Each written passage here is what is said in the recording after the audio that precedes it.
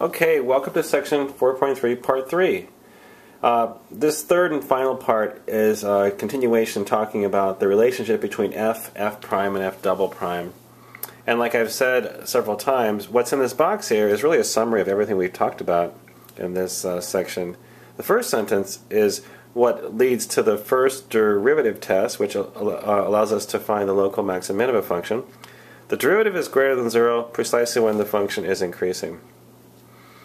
Second line relates f double prime with f prime with f, and that's what allows us to come up with what's called the concavity test, which is a method for um, finding the uh, inflection points in where f is concave up and down.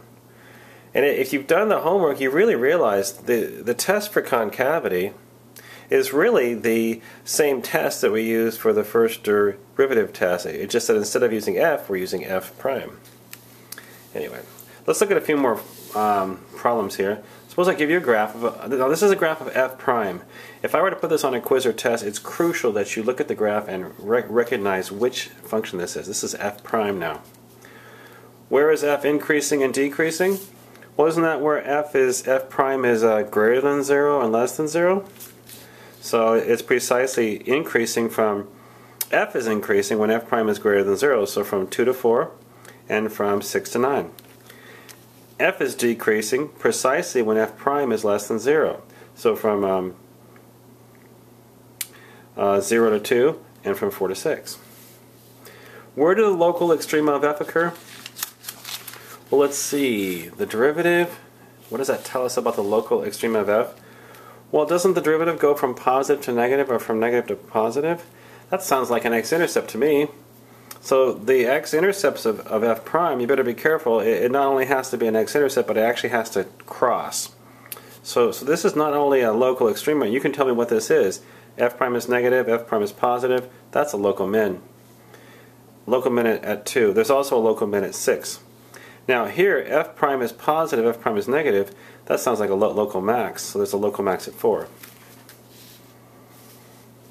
where find where f is concave up and down. Let's see here. Um, concave up and down. What does f prime tell me about concavity? Okay, f is concave up precisely when f prime is, is increasing. So we have to determine when f is in increasing. Where f prime is increasing, I should say. So f is concave up wherever f prime is increasing. Well, f, f prime is increasing from 1 to 3, from 5 to 7, and from 8 to 9. So therefore, since f is, prime is increasing there, f is concave up there. Where is f concave down? Wherever f prime is decreasing. So that would be from 0 to 1, from uh, 3 to 5, and from 7 to 8. Where do the inflection points of f occur? Okay, well remember the inflection points of f occur wherever the concavity changes. So uh, so that's where f prime has to go from increasing to decreasing or vice versa. So look where f prime goes from increasing to decreasing. Well, that sounds like here, doesn't f prime decreasing, f prime in increasing? This is a local minimum of f prime. Uh, it turns out since f prime goes from decreasing to increasing, you have a, an inflection point of f. f goes from concave down to concave up. Similarly, you have an, an inflection point here uh, at 3 because f, f prime goes from increasing, so f is concave up, to f prime decreasing, so f is concave down. And you also have uh, an inflection point of 5, you have an inflection point of 7, you also have an inflection point of 8, so you have lots of inflection points there. So did, did you follow what, what I just said? This turns out to be really important. The inflection points of f are precisely occur they precisely occur at the same points at, at which the local extrema of f prime occur. That's really important. Alright, let's do some more here. Uh, same idea, only this time, instead of giving you the graph of f prime, I'm going to give you the graph of f. Uh, maybe it'd be good to circle that on the quiz. Maybe it'd be good to write this on the top of your quiz too. Here we go, ready? Where Find where f double prime is greater than 0. What does the graph of f, how does, how does the graph of f help you answer that question? Well, that's easy. f prime is greater than 0 wherever f is concave up. So look at where f is concave up. That would be from 0 to 2, from 4 to 6, and from 7, I'm going to say about 7.5 to 9. Where is f prime decreasing? Remember, f prime is decreasing whenever f is concave down. So that would be from 2 to 4, and from about 6 to 7.5. Where are the local extrema of f prime? I think we just talked about that. The local extrema of f prime are the inflection points of f. So you're having you're going to have inflection points at 2, 4, 6, and 7.5. Now, let's do this, this last thing here. I'm going to give you the um, graph of f double prime now. Okay? Find where f is concave up and down. How does f double prime help you there? Well, that's easy because your f is concave up whenever f double prime is greater than 0. So f is concave up from 2 to 4 and from 6 to 9. F is concave down whenever f double prime is less than 0. That would be from 0 to 2 and 4 to 6. Where do the inflection points of f occur? Let's see, the inflection points of f is where the concavity changes. That means f double prime has to change from positive to negative or negative to positive. So those are the x-intercepts, aren't they? You got one at 2, 4, and 6. Where do the local extrema of f prime occur? Again, there's that qu question again.